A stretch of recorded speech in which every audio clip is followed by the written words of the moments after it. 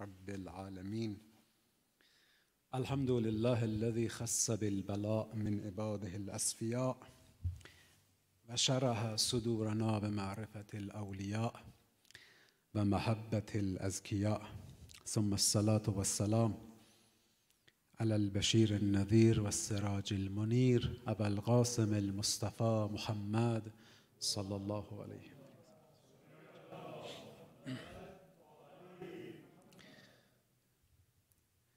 Dear brothers and sisters, Assalamu alaikum wa rahmatullahi wa barakatuh. This is a great honor for me to be with you tonight. And I ask Allah subhanahu wa ta'ala to shower all of us in this great month of Rajab, Rajabul Asab. Asab means the month that it rains. The mercy of Allah rains. Inshallah, to shower all of us with His mercy. And I ask Allah subhanahu wa ta'ala to keep all of you, especially our dear brother, Hujjatul Islam wal Muslimin, Jawah Said who is not here. He invited us, but he is not here. May Allah subhanahu wa ta'ala protect him wherever he is, and inshallah to be in the best of tawfiq and health. In the dua that we recited, because I'm, I'm short for time, I just go to the heart of the topic, the time is against me. We ask Allah subhanahu wa ta'ala, Imam Ali alayhi salam, He takes our hand and to ascend us and to teach us how to, to speak to Allah. He says, and we learn from him to say, وَاجْعَلْنِي مِنْ أَحْسَنِ عَبِيدَكَ نَسِيبًا عِنْدَكَ وأقربهم منزلة منك وأخصهم زلفة لديك after all the ups and downs in dua, Imam alayhi salam is saying, Oh Allah, I want to be the servant that has the most possible portion and bounty and boons with you. To summarize this three part of dua, Imam alayhi salam is about to say, Oh Allah, I want to be the one who has the maximum pleasure. I would like to be the one who has the maximum pleasure to be with you because you created us to enjoy. Allah subhanahu wa ta'ala says in Quran, إِلَّا مَا رَحِمَ رَبِّي وَلِذَلِكَ خَلَقَهُم Allah created you to make you enjoy. Allah has created us to take pleasures. Why we choose religion, why we choose to be religious people? Because we are looking for pleasure, we are looking for maximum pleasure. Those who do not believe in Allah, they also have pleasures. Yes, they have, but it's so small, it's minimum. We do not suffice with that. So when you choose religion, it is because you are so greedy for pleasures.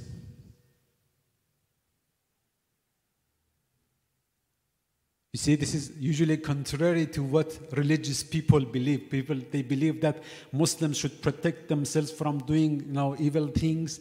So we protect ourselves. We do. We have taqwa. We avoid pleasures, and those non-believers they have pleasures. Then when we die, then in the other life we have pleasures. No. We we choose religion. I'm not talking about the pleasures in the hereafter. That is something else. Here, even in dunya, religious people have more re- eh, pleasures to take than the non religious people. Allah subhanahu wa ta'ala says in Quran about shaitan.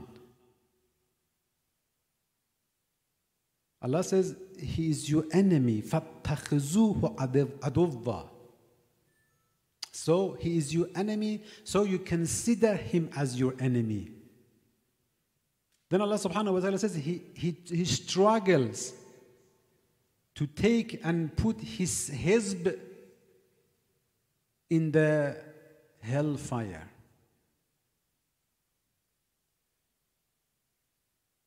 Shaitan struggles to make his followers not to enjoy the life, not to take pleasures in the life. You know, this is the tactic of shaitan. When shaitan is about to take something from you, he offers you the very thing. This is how clever he works.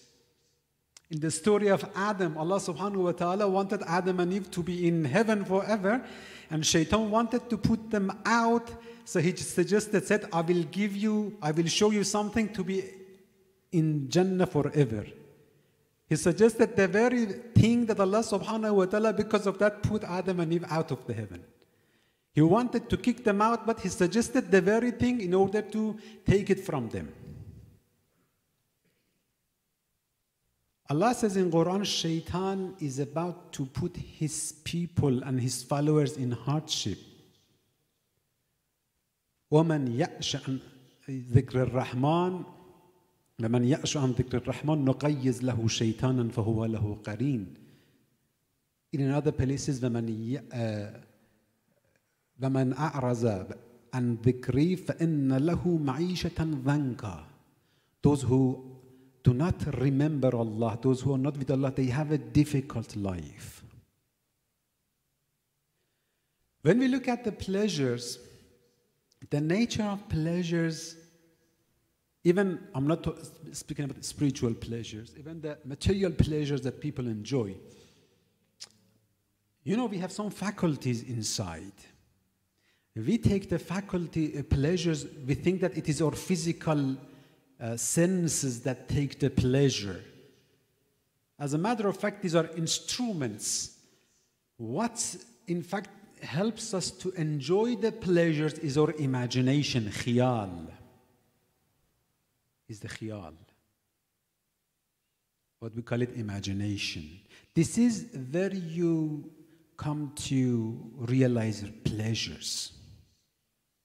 Imagine if if you enjoy a specific food, you take a lot of pleasure out of a specific food. Now the food is ready, you have spent a lot for it, it's ready, you want to eat.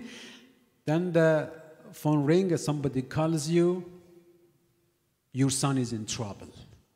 Your father passed away. Your imagination is hurt. You eat the food, no pleasure comes. The very food, the very tongue taste, everything is there, but you don't enjoy it. Why? Because your imagination is hurt. So even though those pleasures that we take with these five senses that we have, the fragrance that we smell, the scenes that we see, what we hear, all these pleasures, these are instruments that our physical body has, but the place that defines the pleasure is our imagination. So when imagination is developed, you get more pleasures. The Prophet wasallam said, "Ilahi sajada laka savadi wa khiyali wa bayazi." Oh Allah, my darkness, my khiyal, and my white all prostrate before you. Sawat means physical body. Khiyal is the, the, the, the word, this faculty between what we call it nafs, between soul and between the body, the medium. And my ruh, my uh, bayazi means my ruh, all are at your service, at your control. The Prophet, uh, thank you, was so that he could bring his imagination when he performs salat before Allah subhanahu wa ta'ala, then he enjoys. He gets the pleasure. For us, our imagination is wild, runs away. But he says, sajada laka savadi wa khiyali. So the pleasure that the Prophet takes out of salat is not considerable, is not imaginable for any person in any material pleasure. Unfortunately, we don't teach religion this way. We don't teach our children this way. Why we should be religious people? If you do not follow the religion, you will be in hellfire. No. If you be religious, then you will enjoy the life more than others in this world and the hereafter. This feeling that you have, you, you, all of you, you have experienced when you cry for Imam al Hussein in the passion of Imam al Hussein, the feeling that you have, the pleasure that you take, what physical pleasure can give you that taste, that feeling? Nothing.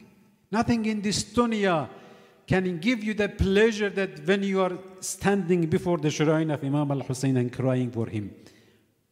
We have tasted all the material, physical pleasures. And these are also something that we can understand. Ayatollah Najabat, you know, one of the outstanding spiritual figures that we had in the recent century was Ayatollah Qazi Tabatabai, rahmatullah He was the master of Allama Tabatabai, rahmatullah Ayatollah Bahjat, and many outstanding figures. Ayatollah Najabat, one of his students, he says, once I, I, I saw, I went to Ayatollah Qazi's house, I saw him so upset. And I asked him, what's the matter? What's wrong? Now just imagine what makes us sorry. What are the mind occupations that we have in our life? Now compare it. Ayatollah Qazi said, Something has occupied my mind for several days. What's that? I'm thinking if we die and in Jannah they don't let us to pray, then what should we do there? What should we do there? What does he feel when he performs salat that I don't feel? What pleasure he takes that we cannot understand? Uh, this, this keep it in parentheses. To take the pleasure of being close to Allah is not easy to be understood by people. You need to have, you know, added value to yourself. Physical pleasures, for example, music, everybody understands the pleasure of music. Even they say if you, for example, play music for plants, they grow better. For cows, they give better milk. So when you take pleasure out of music, this is the animalistic pleasure. You don't need any added value to yourself to get the pleasure. But to, to take the pleasure of salat, you need much added value to yourself to understand it. And that is why you have been created. And that is the difference between you and the animals. So the whole life is the management between the pains and the pleasures. How to manage them. How to purify your imagination I was saying this in parentheses that it is not easy for all people to understand the pleasure of being with Allah. We, we ordinary people, in some cases, we have experienced this. Sometimes we, we were in sort of hardship, then a mercy of Allah comes and solves the problem. In some cases, we have tasted that kindness and mercy of Allah. But generally speaking, we don't when the Prophet says to ah, Bilal, Arihna ya Bilal, in the hardship of the war and the difficult moments of life, when the time, it's the time of Salat, Allah, the Prophet says to Bilal, Arihna ya Bilal, call for Salat. I want to get away from all the pains and all the hardships. What does he feel in Salat? It needs added value. Not all people can understand it, can enjoy it. But loving a human being is not difficult. Loving a human being is not difficult because he's human like us. He has emotions like us. We can see him. We can put ourselves in his shoes. Then we can sort of accompany him. If we want to go to, to, to begin a spiritual journey, to begin it in a form of a man is easier. That's why Allah subhanahu wa ta'ala has commanded us to love the Prophet and his household. You know, when you come to love Imam al Hussein, this love of Imam al Hussein for you and me, we may not experience the love for Allah, but we can experience the love for Imam al Hussein. Then it's the beginning of tasting spiritual pleasures. When I'm talking about the spiritual pleasures, you know what I'm talking about because you love Imam al Hussein. You know, when we perform salat, we say qurbatan ilallah to, to get close to Allah. So, what is getting close to Allah? We speak about it, but really in our hearts, we are not impatient for it. In the dua, you said, وَقَلْبِي بِحُبِّكَ مُتَيَّمًا Oh Allah, I want my heart to be impatient for you. But our heart is not like this, to be honest. We are not impatient to speak to Allah the way that we are impatient for a worldly loved one. But when you come to experience the spiritual pleasure with Imam al Hussein, with Imam al Rida, with the Prophet, with Lady Fatima, then you're beginning to learn the spiritual pleasures. To know that there are pleasures beyond these material pleasures. That's why this hadith has been mentioned in very authentic books of Shia and Sunni. That the Prophet once asked his companions, Ayyu oral iman awthaq? What is the strongest rope of iman? What is the strongest handle of faith? Sahaba said it's salat, somebody said Saum, somebody said hajj. The Prophet said all of them are important, but none of them is the answer to my question. Then they said, What is Ya Rasulullah? The Prophet said, Al hubbu fillah to love for the sake of Allah. To love for the sake of Allah. This is the strongest rope that connects you to Allah.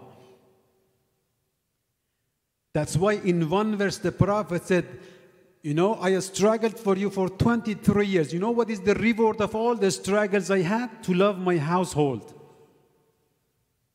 One verse is in Surah Al-Shura, the other is in Surah Al-Furqan. In the other verse, the, the same prophet says, قل لا أسألكم عليه أجرا إلا من شاء أن يتخذ إلى ربه سبيلا The only reward I want from you is to take the path towards Allah. You know, apparently these are contradictory. If somebody works for you and at the end he says, I don't want anything except money. I don't want anything except money. Then again, he comes to say, I don't want anything except to respect me. This is contradictory. When you said, I don't want anything except money, means I don't want anything except money. What about respect? No, I don't want, just the money. So when you come to say, I don't want anything except respect, this is contradictory to the first sentence because you excluded everything except this one. You want only this one, nothing beyond it. So when you bring two exclusions about something, this is contradiction. This is wrong. In one place, the Prophet says, I don't want anything except loving my household. Only this? Yes, only this. In another place, he says, I don't want anything except what? To take the path towards Allah. This is contradictory unless, unless they are the same. Unless both are the same thing. You see how Allah puts the truths in the verses. Put them together. The Prophet says, I don't want from you anything except the love of Ahlul Bayt. Why? Because the only way that you can take towards Allah subhanahu wa ta'ala. Then in another says, وَمَا سَأَلْتُكُم مِّنْ أَجْرٍ فَهُوَ لَكُمْ Whatever I ask as a reward is for you, it's not for me. Because this way you will get close to Allah subhanahu wa ta'ala. You get close means you get pleasure of being close to Allah. How pleasing it is, we don't understand. It's beyond our imagination. You have to be like Imam Zain al Abidin to understand what is the pleasure of being close to Allah subhanahu wa ta'ala. When Imam Zain al Abidin alayhi salam says, Ilahi astaghfiruka min kulli zikrik. Oh Allah, I repent to you from any pleasure I took in anything except your name. While I experience the pleasure of your name, then it is so rude to call other things as pleasure. How can I compare that pleasure with these pleasures? So for Imam Zain al Abidin, it's a sin. When he does istighfar, when he repents, he's not repenting from the sins that you and me we have. He's repenting, says, Astaghfiruka min kulli ladhatin bighayri dhikrik.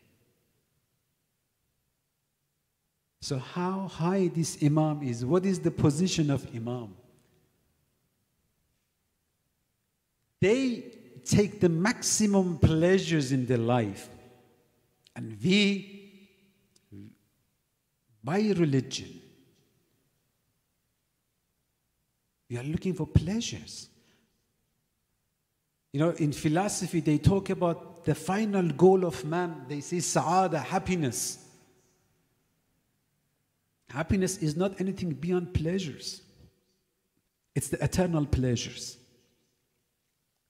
So everything revolves around pleasures. Do not be ashamed to say, We are looking for pleasures. Why are you going to masjid? Because I'm looking for pleasures. He said, We may not utter it by your tongue, but this is really what we are looking for. Even if you do not take pleasure in this, in this dunya, you believe that there are pleasures for you in the hereafter. But the point is that if you want the pleasures there, you have to take it here. You have to take it here.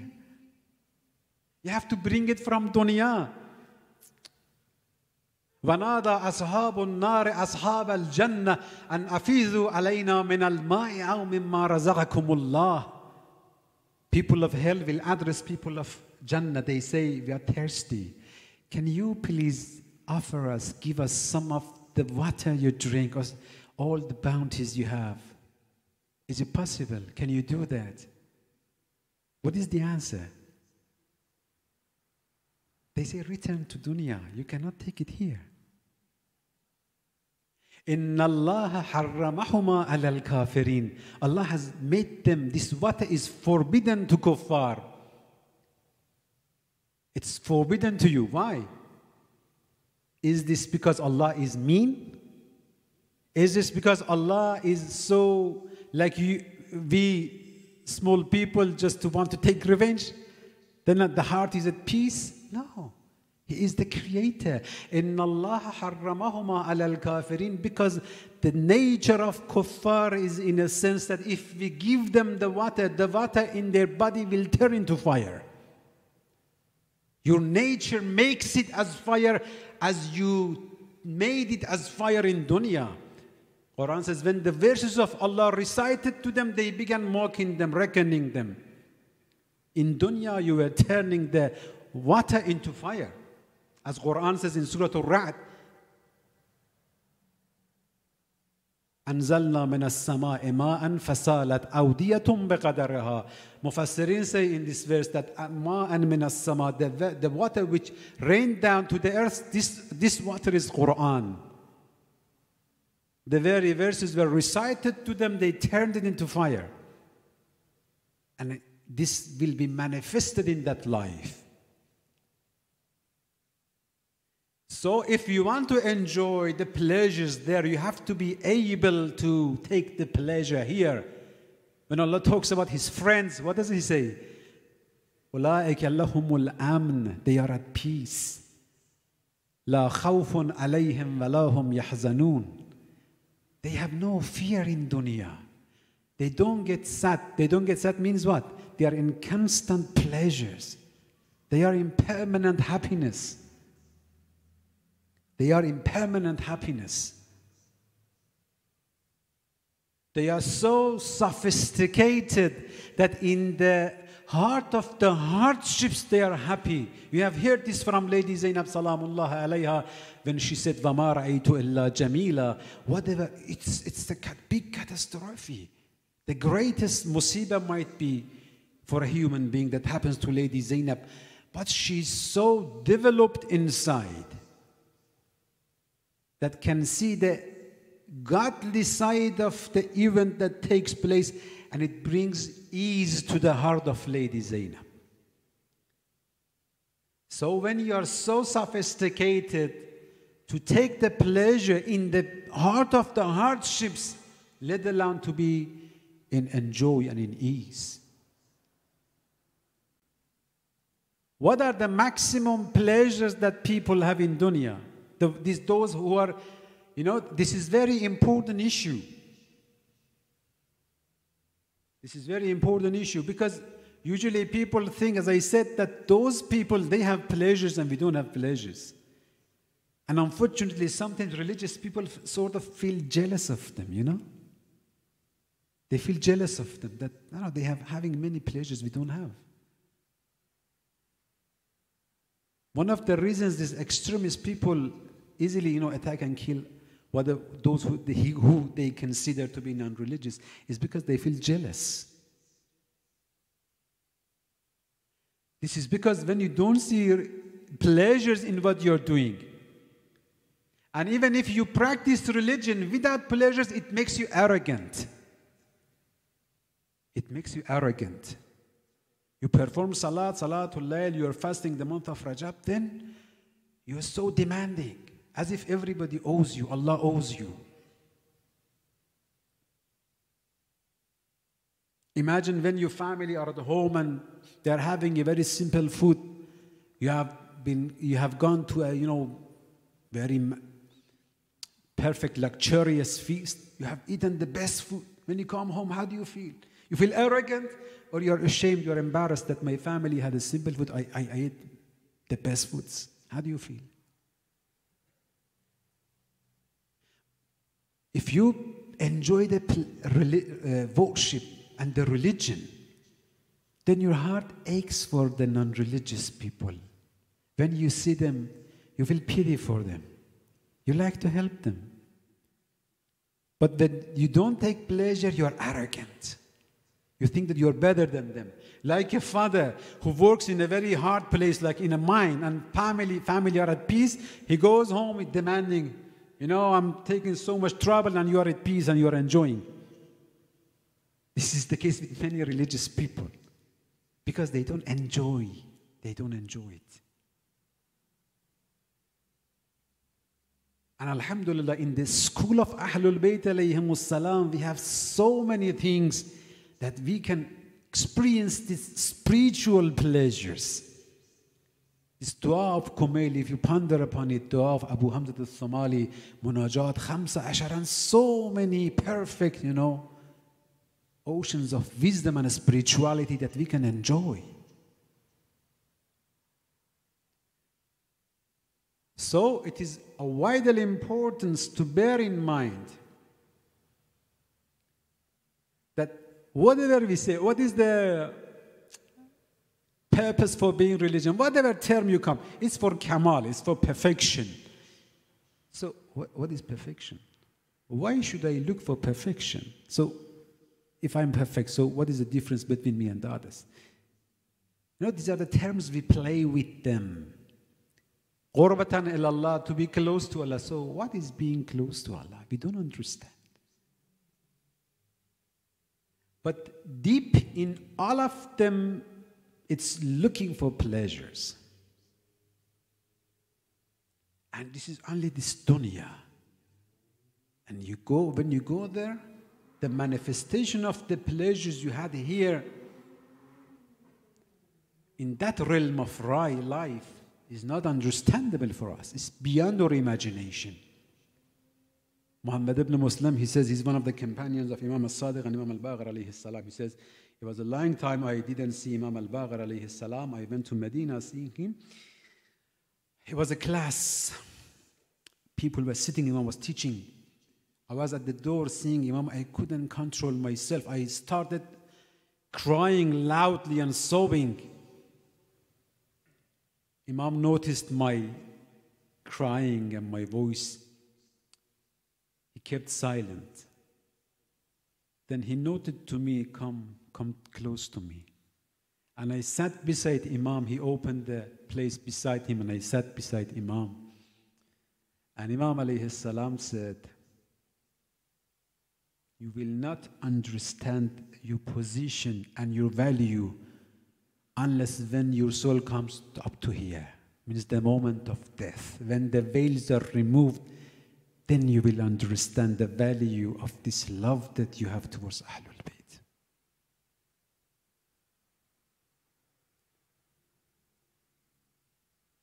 Those who are, the true followers and lovers of Ahlul Bayt, you know, when they die, they, they have a kingdom. They are in that life, they have a kingdom.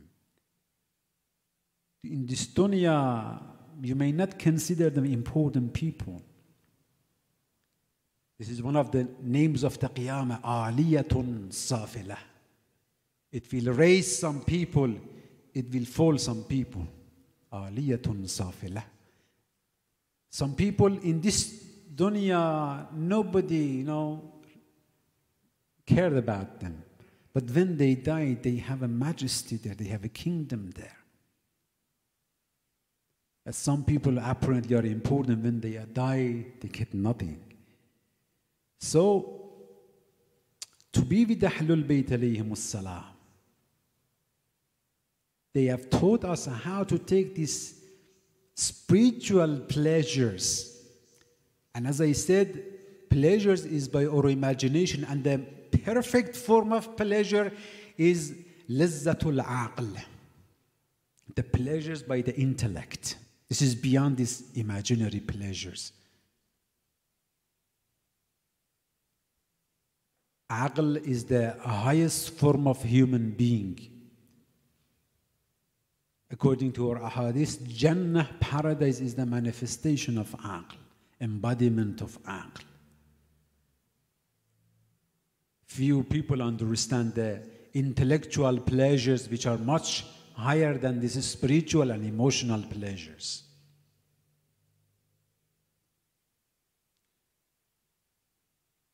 So, this is of vital importance to bear in mind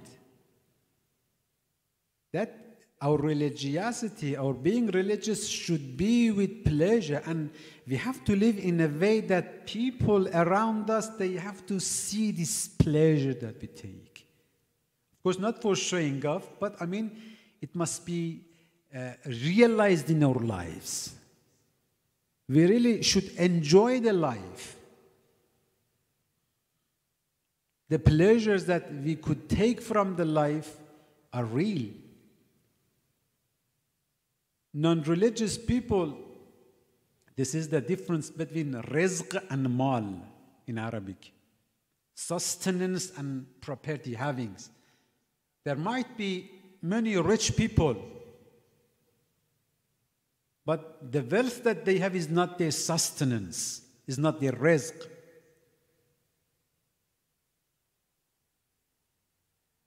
I have seen, and also you have seen, lots of rich people, the bank account is full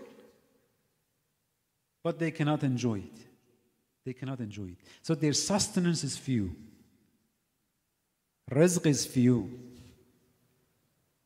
I know a person, he has a very big garden, but he's so busy at the business, goes to the work 6 a.m. till la- very uh, late at night. They work, they have a big business, and has, someone works for him in his garden. The garden is with this worker and the family. They live there. The pool is for them, the fruit is them for them, everything is for them. They enjoy it, and that guy even pays for the facilities and the other things. Only the document is for that rich people, person, but all the pleasures is that for this person who works. So the, the, the garden is his mal and this worker's sustenance.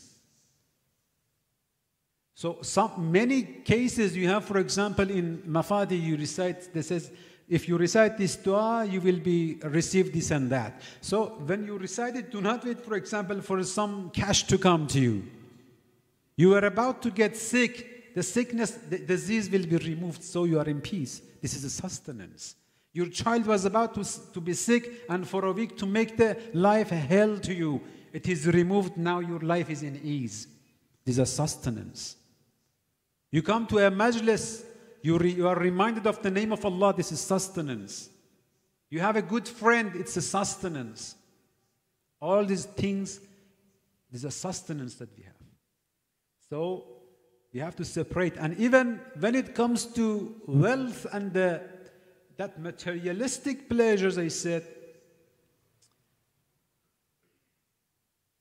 we shouldn't be superfi- we shouldn't uh, judge them superficially. To be able, the capability to use the imagination to enjoy is very important. Sometimes a person, a child may enjoy a second-hand bicycle that a rich person with the best you know, brand cannot enjoy it. So the pleasures are inside. The material pleasures are relative to people. it, it, it, it depends on how your imagination feels and finds them. So in dunya, whatever pleasure which is for them, for the non-religious people also is also for us. But as I said, the, the whole life is the management for the pleasures. The, the country, this country is not a religious, it's not an Islamic country.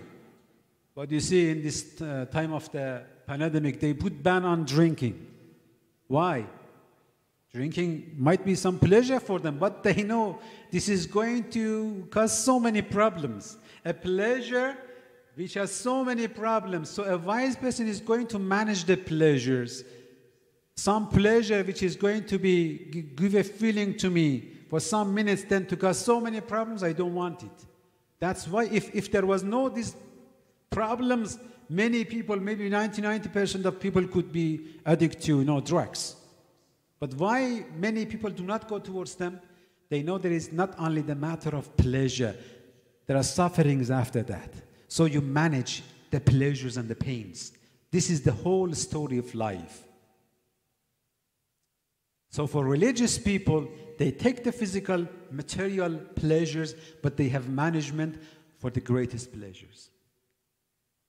If you come to that level to understand the pleasure of name of Allah, then you come to this part of dua Imam Ali had واجعلني من أحسن عبيدك نصيبا عندك وأقربهم منزلة منك أقربهم the closest in position to you we have the hadith that the greatest pleasure that someone may experience in Jannah is the pleasure of name of Allah remembering Allah this is the maximum pleasure that a person may can achieve. وَرِزْوَانٌ مِّنَ اللَّهِ أَكْبَرُ Quran also ratifies this. May Allah subhanahu wa ta'ala to give all of us the chance and tawfiq to be among those people who understand these realities and take these spiritual pleasures and to have the life in this spiritual sense and inshallah to shed this light to the life of ourselves and those around us. Wassalamu alaikum. ورحمة الله وبركاته.